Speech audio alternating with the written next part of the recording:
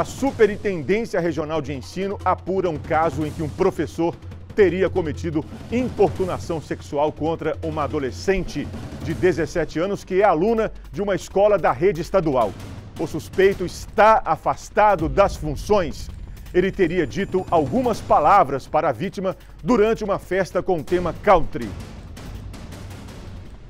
O caso de importunação sexual foi registrado nessa escola estadual no centro de Teófilo Otoni. A filha de Elisete, que tem 17 anos, participou de uma festa com trajes no estilo country e ouviu do professor um comentário que não esperava. Ele chamou ela na festa lá, na apresentação, e falou para ela, e uma vaeira da ela iria na ama dela, ele ia fazer um estrago. Isso aí chegou à boca do povo primeiro, até depois até a mim.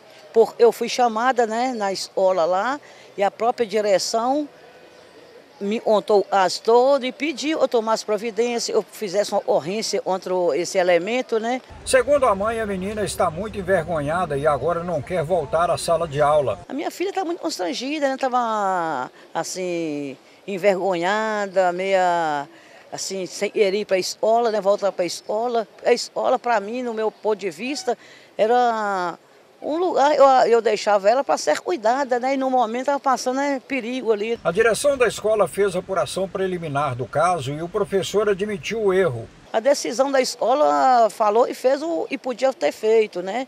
E me pediu que agora eu fizesse minha parte em denunciar. E elas estavam abertas a colaborar com a justiça. Após a apuração na escola, os pais também denunciaram o caso na delegacia de polícia civil. Fui à delegacia, e procurei a Polícia Civil, na delegada, a doutora Herta lá, e eles tomaram, já fiz a ocorrência e agora nós esperamos uma resposta não só para nós, pais, como para a sociedade, né? A delegada de atendimento a mulheres ouviu a família e a vítima. Agora vai juntar provas e outros recursos para apontar a falha no comportamento do professor dentro da escola. Nós verificamos que é uma situação muito complicada, é um fato complexo, envolve uma rede escolar, envolve ali um público de adolescentes e nós vamos apurar com a devida cautela e de forma que sejam ali verificados o que, que foi dito, a forma como essa menor foi exposta, de que forma que este professor, em tese, teria abusado ali da sua condição de professor, importunando com dizeres sexuais, se referindo a esta menor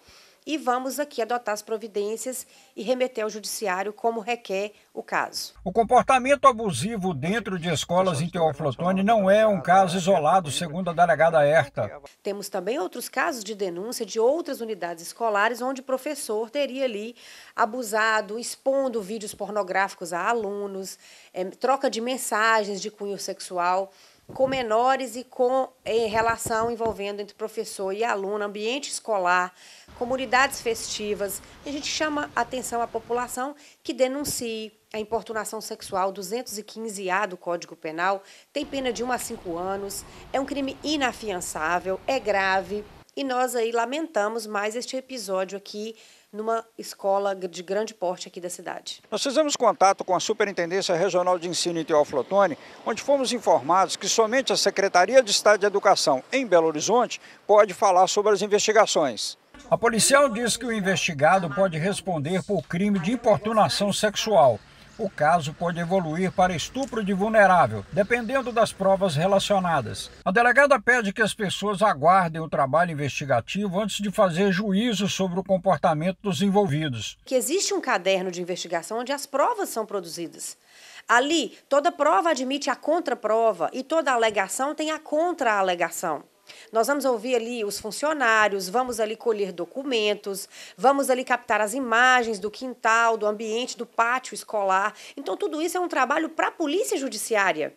E nós temos que chamar a atenção a todos os populares e ouvintes que todo o caderno investigativo passa pelo crivo da análise do Ministério Público, que é quem oferece a denúncia, e nós temos todo um devido processo legal no Judiciário, onde ali as partes serão submetidas ao tribunal de Justiça de Minas Gerais.